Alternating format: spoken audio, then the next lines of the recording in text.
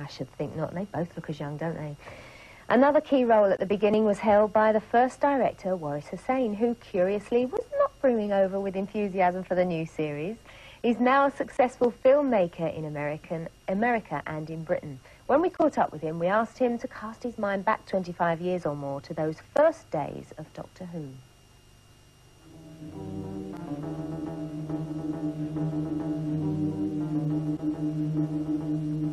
Well, the first episode came into being because Sydney Newman, who was the new head of drama at the BBC, wanted to find a new way of doing programs for kids.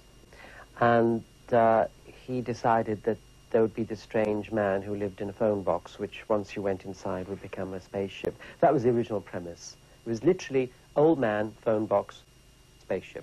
Feel it, you feel it? It's a faint vibration. It's alive.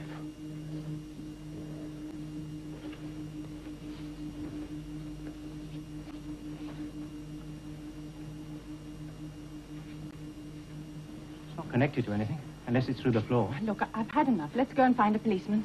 Yes, all right. The children's department at that time was very traditionally run, and the people who were involved with that were very um, apprehensive about this new thing. And um, I think they gave it about six weeks of life. I can't say I was a very willing director on this. I was kind of press ganged as a contract director into doing it. So in some ironic way, I, I certainly didn't know that I was in on something that was going to be this well thought of and indeed this long lasting. She is in there. Who's the dog? But Barbara. We had this incredible business of trying to get them from the exterior scenes into this phone box, looking as if it was all right to open a couple of narrow doors and walk into this vast space. Close the door, Susan. In the first episode, we had uh, this story took place uh, in uh, the cave ages and people looking for fire. And uh, the villain and the hero figure both have this incredible fight with clubs and a lot of grunting. I encouraged the actors to fight fairly violently. We had a fight arranger. Anyway, in the end, um, this man crushes the villain's head out of camera, and then um, I actually cut to the results of what had happened, which is fairly gory. And um, Verity absolutely refused to let me use the shot and reminded me this was for kids. And um, it was only then I had to sort of get drawn back into the reality of what we were actually making this for. It was for children. So we cut out this sort of very gory, uh, mangled mess that I had shot.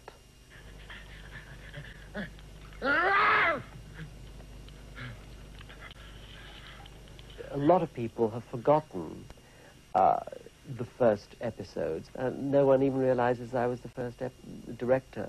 And in fact, um, the BBC even forgot they had a celebration about five years ago where they had a reunion of all the uh, actors and directors. And I wasn't even invited until I found out it was happening, and I invited myself. I was stopped at the door by someone saying, um, have you got an invitation? I said, I sincerely hope so. Even if I haven't got one in my hand, I should, because I was the first person to start this thing off. So um, that's how long it's been running, and um, I don't think the BBC knew, actually, what sort of show he'd had on his hands.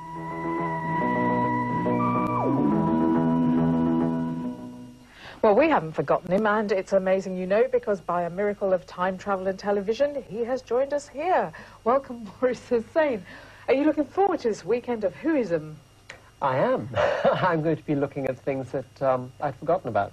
You haven't seen for years and years and years. well, That's thank you for joining us. We'll be talking to you again later, and also to Carole Ann Ford and Russell Enoch. So we shall look forward to more tales from hmm. Who.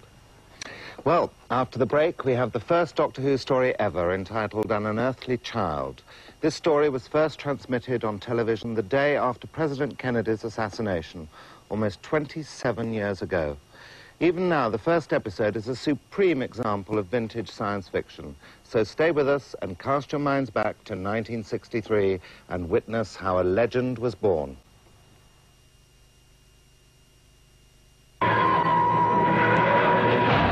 No one knows the galaxy quite like I do. Of course, that is why we're here. The Dominators will be there with you tomorrow at 3 on Galaxy.